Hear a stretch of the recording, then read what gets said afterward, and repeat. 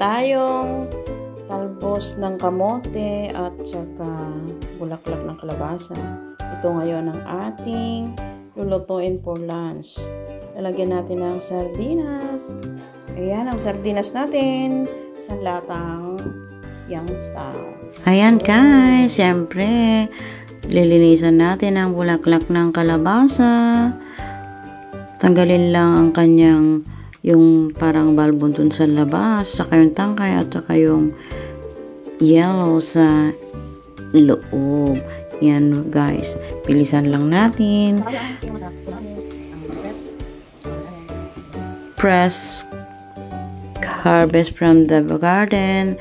Ayan ang pananim dito sa bukid. Kung mayroong kang kulay, yan. Simpleng lunch lang ang aming lunch ngayon talbos ng kamote, at saka bulaklak ng kalabasa. At syempre, para naman masarap, gigisa natin ng sardinas. Basta may sardinas, hindi tayo mapili. Kahit anong klase ng gulay, pwede mong sahugan ng sardinas.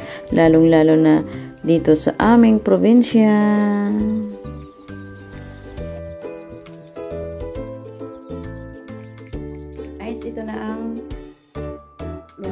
Natin. Ayan, simple lang. May ano siya, bawang, masunod sa may kunting patanin.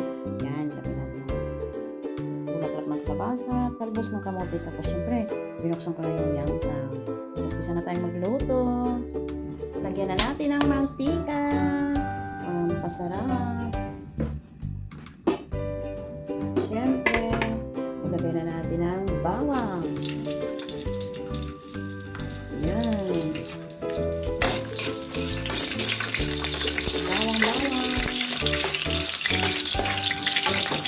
Natin ang sibuyas.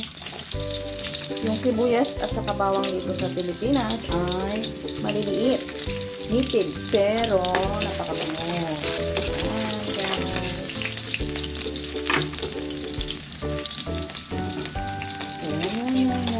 Bango-bango na, bango-bango.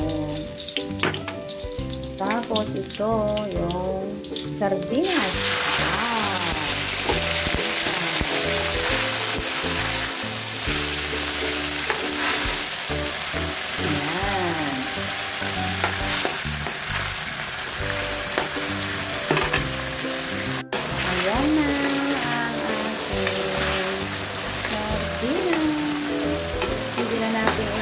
Ihalo ang talbos ng kamote. Ilagay na natin ang talbos ng kamote. Yan. Yan.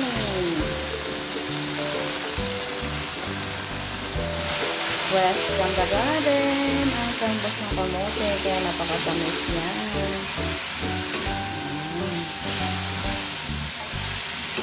Ituin natin konti bago natin ilagay yung bulaklak ng kalabasa. Yan, yan. Yan. Siyempre, lagyan natin ng sabaw.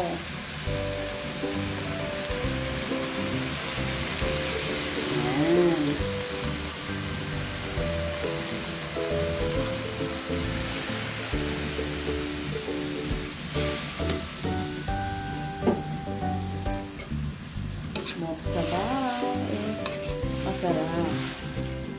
Ayan. At syempre, yung lata ng sardinas kanina, mayroon pang natitirang konti, kaya linagyan ko ng tubig. Yan. That's it. Antay natin kumulo bago natin ilagay ang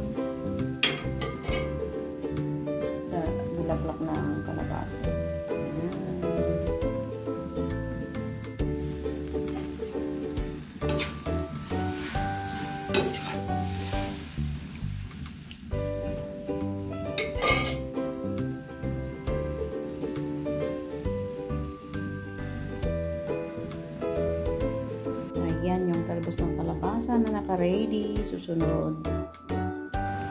Ayan. Haluin natin. Pag may nakikita na natin na medyo lumambot yung talbos ng kamote, ilagay na natin ang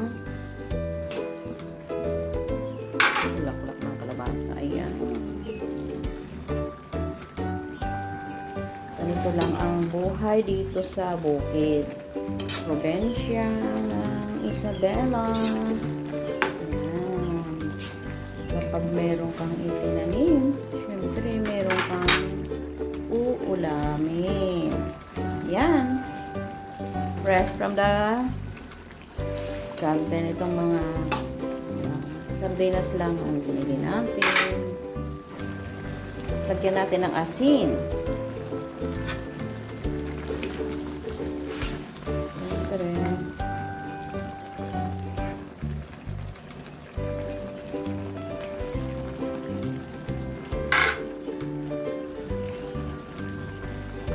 Ilagay na natin ang talbos at ano, bulaklak ng kalabasa. Wow! Yan. Sarap. Sardinas tayo.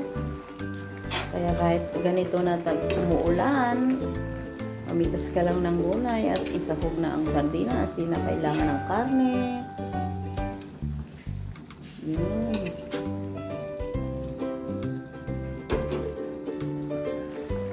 Guys, lagyan na natin ng pampasarap. Kunti lang ito kasi uh, malit lang ito. Tapos, tira ko yan kahapon na nagluto ng ulam. Ang ulam namin pala kahapon ay sitaw din na galing sa tanim. Yan guys, luto na ang ating lunch. Wow, yummy, yummy, yummy.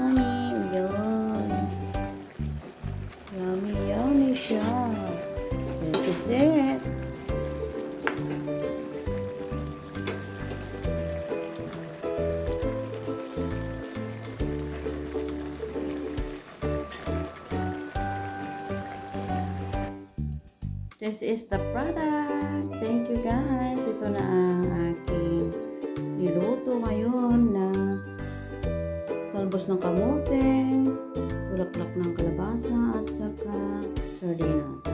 Thank you for watching. Sa mga hindi pa nakasubscribe sa aking YouTube channel, please subscribe and press the bell button para lagi kayo updated sa aking susunod na video. Thank you. Ayan.